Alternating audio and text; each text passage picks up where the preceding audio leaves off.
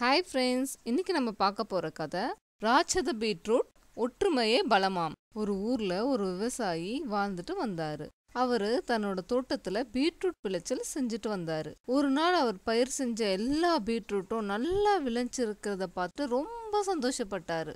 ஒரு பீட்ரூட் மட்டும் ரொம்ப பெருசா வளர்ந்துருந்ததை பார்த்தாரு. அடடா இந்த பீட்ரூட்டை மட்டும் நம்ம சந்தைக்கு கொண்டு போய் வித்தா நிறைய பணம் கிடைக்கும்னு சொல்லிட்டு அதை பிடுங்க பார்த்தாரு ஆனா அந்த பீட்ரூட் பிடுங்க வரல. உடனே ஓடி போய் ஒரு பெரிய கயிறை கட்டி அந்த பீட்ரூட்டை பிடுங்க பார்த்தாரு அப்பவும் அது பிடுங்க வரல. உடனே அவரோட மனைவியை கூப்பிட்டு ரெண்டு பேரும் சேர்ந்து பீட்ரூட்டை பிடுங்க பார்த்தாங்க அப்பவும் அந்த பீட்ரூட் பிடுங்க வரல. உடனே அவரோட மகனையும் சேர்த்துக்கிட்டு பீட்ரூட்டை பிடுங்க பார்த்தாங்க அப்பவும் அந்த பீட்ரூட் பிடுங்க வரல. சரி என்ன பண்றது?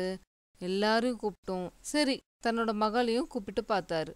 மகளையும் கூப்பிட்டுட்டு பீட்ரூட்டை இழுக்க பார்த்தாரு. அப்பையும் பிடுங்க வரல. அச்சோ எல்லாரும் கஷ்டப்பட்டு இழுக்கிறத பார்த்துட்டு இருந்த அவங்க வீட்டு நாய்க்குட்டி என்ன பண்ணுச்சு? அதுவும் வந்து உதவி செஞ்சுது. அப்பவும் அந்த பீட்ரூட்டை பிடுங்க வரல.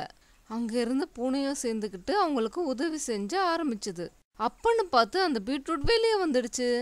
உடனே அந்த பூனை மேலே பிரியமாக இருந்த அந்த வீட்டு பொண்ணு சொன்னா பாத்தீங்களா? உங்க யாராலையும் எடுக்க முடியல.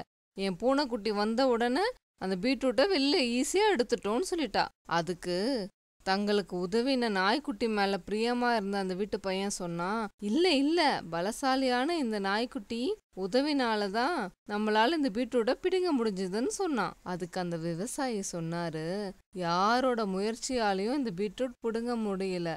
நம்ம எல்லாரோட ஒற்றுமையால தான் நம்ம பிடுங்கினோம்னு சொன்னாரு. குழந்தைங்களா நீங்க இதே மாதிரி ஒற்றுமையா எல்லா விஷயங்களையும் செஞ்சீங்கன்னா உங்களுக்கு ரொம்ப நல்லதுன்னு சொன்னாரு.